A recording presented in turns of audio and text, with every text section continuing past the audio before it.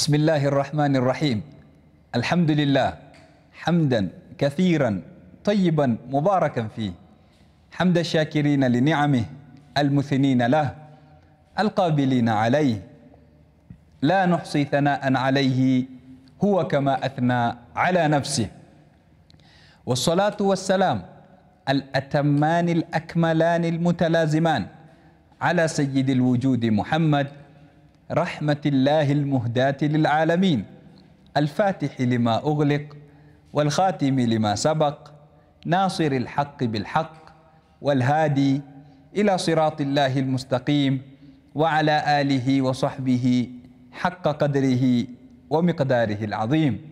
وبعد mpenzi mtazamaji baada ya kumshukuru alhaqu subhanahu wa taala na kumtakia rahma na kipenzi chake na kipenzi chetu bwana mtume muhammad sallallahu alayhi wa ala alihi wa sahbihi wasallam kwa mara nyingine tunamshukuru mwenyezi mungu subhanahu wa taala kutuwezesha kuendelea na silsila yetu hii ya wanyama katika alqurani lkarim ndugu mpenzi mtazamaji mnyama ambaye kwamba tutamzungumzia katika kipindi kama hichi ni yule ambaye kwamba ametajwa na mwenyezi mungu subhanahu wa taala katika suratu dhariyat ametajwa mara moja tu mwenyezi mungu subhanahu wa taala pindi aliposema kaannahum humurun mustanfira farrat min qaswara mwenyezi mungu subhanahu wa taala asema kana kwamba wao ni punda milia ambao kwamba ni wenye kukimbizwa wanamkimbia kaswara kaswara wengi katika maulama wasema ni simba ama ni moja katika majina ya simba. Kwa hivyo tutakayemzungumzia katika kipindi chetu hichi ni yule ambaye kwamba anajulikana kama malikul ghaba king ama mfalme wa pori ambaye kwamba ni simba na hakuna mnyama ambaye kwamba amepata shuhura zaidi na kujulikana zaidi ulimwenguni kama mnyama kama huyu ambaye kwamba anapigiwa mfano katika ushujaa anaipigiwa mfano katika nguvu anapigiwa mfano katika katika shakhsia ama personality. Kwa hivyo mnyama ambaye kwamba tutamzungumzia katika kipindi hichi ni simba. Simba ni mnyama ambaye kwamba ana haiba ana utisho na ni mnyama ambaye kwamba atokamana na familia ya qitat kama wanavyojulikana ama hawa wanaojulikana kama paka. Na ni mnyama ambaye kwamba anaitwa katika mwanamume anaitwa asad na mwanamke anaitwa labua katika lugha ya kiarabu. Lakini hakuna mnyama ama ni katika wanyama ambao kwamba ana majina mingi zaidi. Taban tulitangulia kusema kuwa ngamia ana majina takriban elfu moja lakini ibnu khalawai anatuambia kuwa simba ana majina na sifa takriban mia tano. Ni majina mingi aliyokuwa nayo katika lugha ya kiarabu. Anaitwa asad na ndio jina maarufu na mashuhuri zaidi. Anaitwa ghadhanfar lakini vile vile anaitwa dirgham na kaswara kama ilivyokuja katika qurani na majina mingi ambayo kwamba utayapata ukirudi katika vitabu vya lugha. Mnyama kama huyu ana sauti kali sana ambayo kwamba inasikika kwa umbali wa maili tano ama takriban kilomita nane. Mnyama kama huyu anaishi kati ya miaka kumi na mbili mpaka kumi na sita ikiwa anaishi katika pori. Lakini akiwa anaishi katika zoo anaweza kuishi miaka ishirini mpaka miaka ishirini na tano anakuwa na umri mkubwa zaidi. Kwa sababu yuko katika sehemu ambayo kwamba ni safe na ni amani lakini vile vile aangaliwa kwa uzuri mnyama kama huu ndugu yangu mpenzi mtazamaji ana hasa ya kuona ambayo kwamba ni nguvu ama ina pawa kuliko mwanadamu kwa mara tano kama wanavyosema maulama. Lakini na vile vile hasa ya kusikia ana pawa ya kusikia ambayo kwamba anaweza kusikia sauti ya mnyama anayetaka kumwinda kwa umbali wa kilomita moja na nusu na ni mnyama mwenye spidi kubwa sana. Anakimbia kilomita themanini na moja kwa jisaa. Mnyama kama huyu, ndugu yangu mpenzi mtazamaji, ana mingi ambayo kwamba ni maarufu yanayofungamana na yeye, lakini na vile vile unampata katika thakafa mbalimbali akiwa ametajwa. Ukirudi katika historia ama katika adab, utaona ametajwa katika mashairi mbalimbali. mbali ya wasomi mbalimbali. Kwa mfano wakati wa Alhajjaj ibn Yusuf Athaqafi alipokuwa amewashika na kuadhibu baadhi ya watu katika Khawarij, kuna bwana mmoja alimtolea beti wa shiri akamwambia, asadun alayya wa fil hurubi naama, amwambia Hajjaj, wewe wajifanya simba kwangu mimi, na katika vita wewe ni mbuni uwezani. Kama kweli ni mwanamume kapambane na mashujaa wa waja kunionea mimi. Na hichi kipande cha shairi ndo kimekuwa ni madrib al-amthal, ama kimetumika kama kupiga mfano, yani pindi mtu anapodhulumiwa na mtu ambaye kwamba ana nguvu zaidi yake na kumdhoofisha, basi humwambia maneno kama hayo, asadun alayya fil hurubi naama, badili nguvu zako uje unitolee mimi, nenda kapambane na wenye nguvu, kama kweli wewe ni mwenye, ni mwenye nguvu. Lakini vile vile ametajwa na Almutanabbi, ukisoma katika mashairi yake utamwona anasema, idha raaita nuyuba llaithi barizatan fala tadhunanna anna llaitha yabtasimu, asema ukiona meno ya simba yametoka, basi usidhani simba kama yule anacheka, akituonesha kuwa yatikana mtu awe makini na adui wake, hata akija akikutabasamia usidhani kuwa ana mazuri na wewe, ujue ameficha nini ndani mwake. Kwa hivyo idha raaita nuyuba llaithi barizatan fala tadhunanna anna llaitha yabtasimu. Lakini vile vile, mpenzi mtazamaji, kama alivyotajwa katika Alqurani Alkarim na katika mashairi, ametajwa vile vile katika sunna ya Bwana Mtume Muhammad sallallahu alayhi wa ala alihi wa sahbihi wasallam. Mtume sallallahu alayhi wasallam alipokuja kwake Utaiba ibn Abi Lahab, mtoto wa ammi yake Abu Lahab, ambaye kwamba pia alikuwa amemposa binti yake ambaye kwamba ni Umm Kulthum.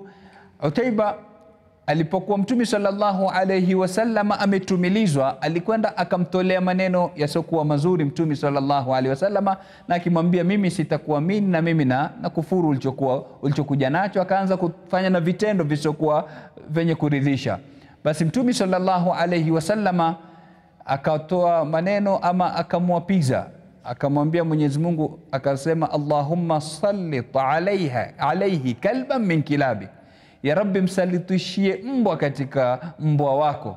Na alikuwa yuko katika safari anaelekea pande za Sham. Inasemekana alipofika karibu na zarka zarka ni mji ambao kwamba uko katika nchi ya Jordan kwa wakati wa sasa. Alipofika karibu na hapo, akaliwa na simba.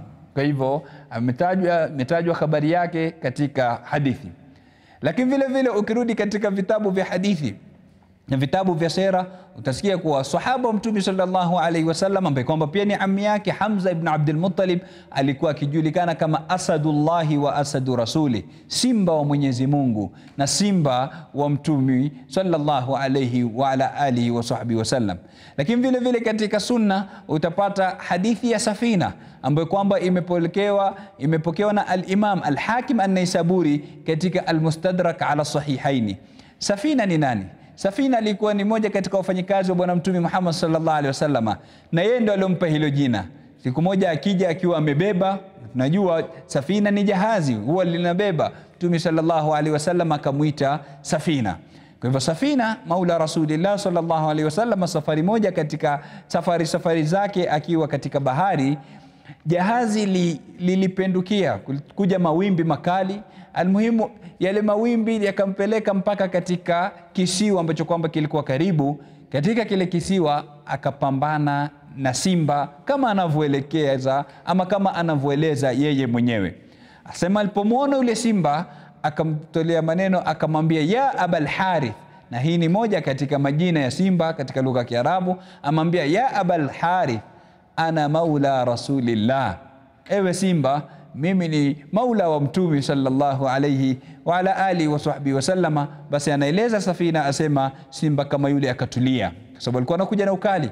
Akatulia, akaweka na kichwa chini, akamshindikiza Safina mpaka ng'ambo ya pili. Hakumdhuru yeye wala hakumwacha peke yake, akampa security ama akampa himaya, akampeleka mpaka ng'ambo ya pili na kuhakikisha kuwa amefika salama, na hakuna yoyote katika wanyama wa pori kama lile ama kisiwa kama kile anamdhuru huyu maula wa Bwana Mtume Muhammad sallallahu alayhi wasallama. Na somo kubwa ambalo kwamba tulipata hapa, ndugu yangu mpenzi mtazamaji, ni kuwa mnyama ametajiwa mtumi, lakini wakati ule ule ametulia ametajiwa mtume ameweka kichwa chini. Vipi mimi na wewe, hali yetu inakuwaje kitajwa mtume sallallahu alaihi wasallam? Mara ngapi watu wanateta, mara ngapi watu wanakorofishana, wakiambiwa msalieni mtume, badili watulie, hasira zipungue, wao ndo mwanzo wanazidi kuteta. Na mtu anaweza kukwambia tumsalie mtume nini? Uone huyu amenidhulumu, na ukosefu wa adabu kwa juu. Sasa mnyama anatulia kwa kutajiwa mtume. Kwa nini mimi na wewe tuwe tutashindwa kutulia pindi tutakapotajua kipenzi cha Mwenyezi Mungu Subhanahu wa Ta'ala, dawa wa nyoyo, Bwana Mtume Muhammad sallallahu alayhi wa ala alihi wa sahbihi wasallam. Mpenzi mtazamaji, ni mingi ya kuelezwa kuhusu simba, lakini kama tunavyosema daima kuwa tunataka mafunzo ambayo kwamba tuyapata kutoka kwa wanyama kama hawa. Ni yapi mafunzo ambayo kwamba tunayapata kwa mnyama kama huyu? Funzo la kwanza ni shajaa, ushujaa na mumin daima atakikana awe ni qawi, mwenye nguvu. Na Mtume sallallahu alaihi wasallam ametuambia almuminu lqawi khairun wa ahabu ila llahi min almumini ldhaif, Mumin ambaye kwamba atakuwa ni mwenye nguvu ni mwenye kupendeza na ni bora kwa Mwenyezi Mungu Subhanahu wa Ta'ala kuliko mumin dhaifu. Mwenyezi Mungu hataki mumin awe ni dhaifu, hataki mumin awe ni mtu asiyekuwa na shakhsia, asiyekuwa na personality. Hatakana mumin awe ni mwenye nguvu na ni mwenye ushujaa, asiwe ni mnyonge na vile vile asiwe jabani, asiwe mwoga. Kwa hivyo sifa ya kwanza ambayo kwamba ni nzuri tunaipata kwa mnyama kama huyu ni sifa ya shajaa, sifa ya nini? Ya ushujaa lakini vile vile ana sifa ambazo kwamba si nzuri, na katika sifa ambazo kwamba si nzuri ako nazo, inajulikana katika ulimwengu wa simba kuwa simba wa kiume, pamoja na kuwa yeye ndo mwenye nguvu zaidi na mwenye mwili mkubwa, kwa sababu ana kilo mia mbili na hamsini. Wa kike ana kilo mia moja na themanini.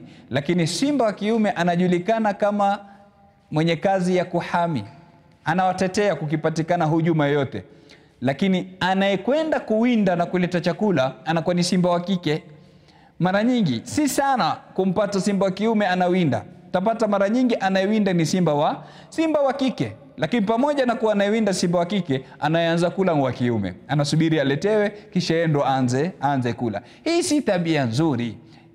Tukisema hivi tunakusudia wale wanaokaa majumbani na mamaskani wakipakata mikono wasubiri wakati wa chakula ufike, uende nyumbani, hawajapeleka mchele wala hawajapeleka kitoweo wala chochote, na anakwenda ataka kuwekewa chakula katika meza, wala hajui chakula hicho kimetoka wapi. Yani aende mbio mwanamke ndani ya nyumba ndo akuwekee wewe mwanamume chakula ule. Si sifa nzuri hii, haitakikani. Takana ujitume wewe, wewe ndo uende ukatafute pato, wewe ndo uende ukafanye kazi, ulete ndani ya nyumba, sio mwanamke aende mbio ikitokea na yeye ameamua kukusaidia mfanya vibiashara vyake kheri wa baraka, lakini asli ni wewe utoke uende ukajitume.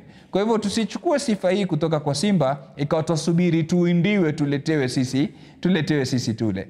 Lakini vile vile katika sifa ambazo kwamba si nzuri zinapatikana kwa simba ni sifa ya kasal, pamoja na kuwa ni shujaa na nguvu, na ndio malikul ghaba, ndio mfalme wa pori pamoja na kwa hilo pori lenyewe halipendi. Utamwona mara nyingi anapenda ardhi ambayo kwamba ni savana, ambayo kwamba iko wazi, haina miti mirefu mirefu wala haina mwitu ndani yake. Lakini pamoja na yote hayo, anapenda kulala sana. Akishakula akishashiba, ndani ya masaa ishirini na nne ya siku anaweza kulala takriban masaa ishirini. Ni mvivu sana mnyama kama huyu anapenda kulala kwa wingi, na hilo halitakikani kuwepo kwangu mimi na wewe, ndugu yangu mpenzi mtazamaji. Kulala kwa wingi si kuzuri. Wewe leo ukilala masaa manane, thuluthi ya umri wako umepotea katika kulala, kama alivyosema Alimam Al-Ghazali asema, leo mtu akiwa talala, atalala masaa manane katika siku yake, basi thuluthi ya umri wake unapotea katika nini? Katika kulala na hajaona zama ambazo kwamba twaishi ndani yake. Angeziona angesema na thuluthi ya pili inapotea katika jam manjiani, manake masaa yapotea tu, wakati wa kwenda na kurudi barabara zime zimesimama. Kwa hivyo mumin hatakikane awe ni mwingi wa kulala, utakuwa unapitwa na mengi na kulala kwingi kunatokamana na kula kwingi na kunywa kwingi. Kwa hivyo kila ukipunguza kula, ukipunguza kunywa, basi na ule usingizi unapungua, na ukipungua usingizi unakuwa na muda mwingi zaidi wa kufanya mingi zaidi. Kwa hivyo katika sifa ambazo kwamba ni mbaya ako nazo mnyama kama huyu ni sifa ya kulala kwa wingi, lakini vile vile katika sifa mbaya ambazo kwamba ako nazo na kama wanavyotaja maulama wanasema ni abkhar.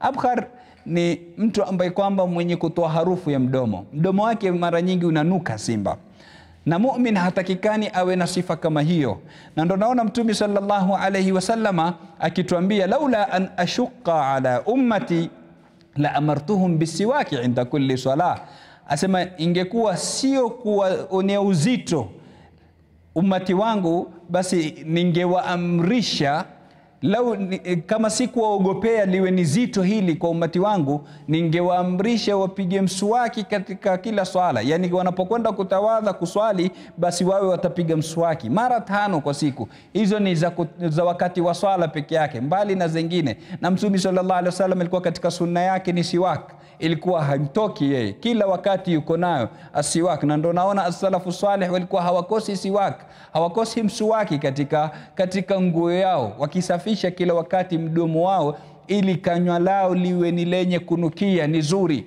na ndo unaona Mtume sallallahu alaihi wasallama aliposema eh, atakayekula thaumu, atakayekula kitunguu cha thaumu kwa sababu kina harufu mbaya, akasema fala yakrabanna musallana, asikaribie musalla wetu, asije msikitini kuswali na sisi huyo. Kwa nini? Kwa sababu ni harufu mbovu itatoka katika mdomo wake.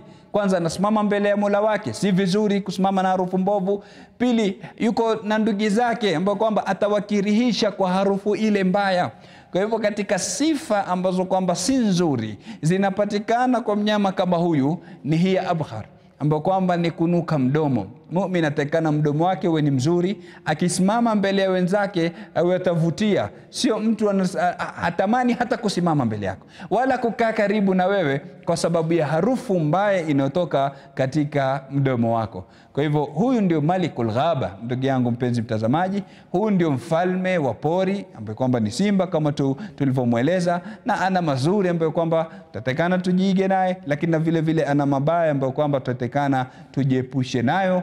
Tumwomba Mwenyezi Mungu Subhanahu wa Ta'ala atujalie min alladhina yastami'una alqawla fayattabi'una ahsana innahu waliyu dhalika walqadiru alayhi wa sallallahu wa sallama ala sayyidina Muhammadin wa ala alihi wa sahbihi wa man tabi'ahum bi ihsanin ila yawmiddin walhamdulillahi rabbil alamin.